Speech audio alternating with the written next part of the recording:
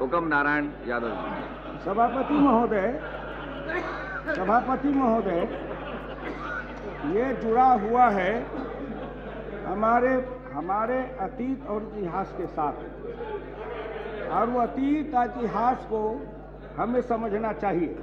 मैं केवल दो चार पंक्ति उदाहरण दे करके अपनी बात को समाप्त करूँगा। आखिर कोई इतिहास में जब गलती हो जाती है, लिखने में, समझने में तो उसके कितने भयंकर परिणाम होते हैं। आखिर इतिहास है क्या? यह है अतीत का बोध। जो कुछ पहले हो चुका है, उसको किस ढंग से समझते हैं? अधूरा, पूरा, गलत, सही, इतिहास है अतीत का बोध। और अतीत का बोध भविष्य और वर्तमान का निर्माता भी हुआ करता है।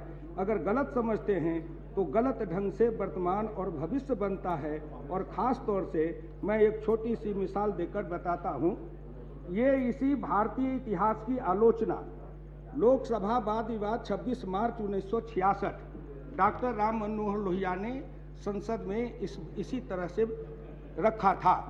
क्योंकि यूएनओस्के के द्वारा एक हिंदुस्तान का इतिहास, दुनिया का इतिहास लिखा गया था, उसमें रूसी एक विद्वान ने लिख दिया था कि कविता का उद्गम चीन से हुआ उसी पर डॉक्टर लोहिया ने संसद में बहस छेड़ी थी और सर्वपल्ली डॉक्टर राधा कृष्णन में, मेन राधा कृष्णन उस समय उसमें सदस्य थे। तो मैं फिर कहना चाहता हूँ कि इतिहास की गलती को न हम दोहरावें सदन में, और हमारे साथ जो वो गीता है, गीता किसी धर्म का नहीं है।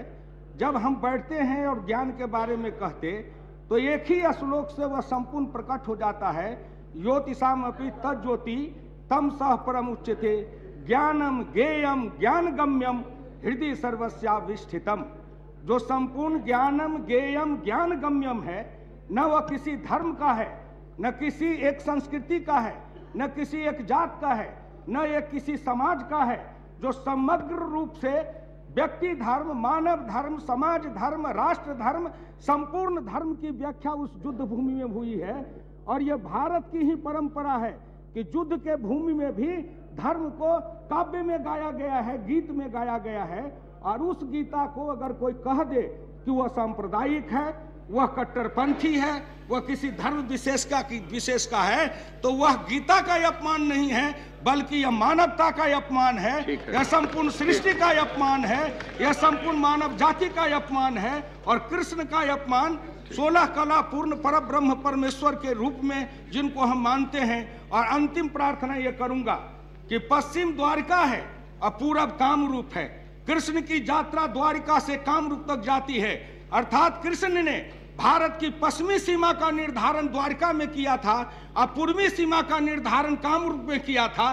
पूरब और पश्चिम के भारत के भूगोल, भारत के इतिहास भारत की संस्कृति भारत की सभ्यता भारत की लोक मान्यता लोक भाषा लोक भूषा लोक भजन लोक भवन लोक संस्कृति लोक कला की आधारशिला जिसने रखी थी उसके उस गीता को अगर कोई कह दे जी सांप्रदायिक है तो हम कभी मानने के लिए तैयार नहीं होंगे।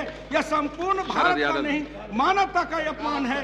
इसलिए सरकार सदन से केवल एक एक लाइन में हम यह प्रस्ताव पास करें कि गीता के जो कुछ भी गीता के संबंध में रूस में हुआ है हम उसकी निंदा करते हैं और हम गीता का पूर्ण रूप से सम्मान करते हैं। इस पर सरकार की का वक्तव्य आना चाहिए। धन्यवाद।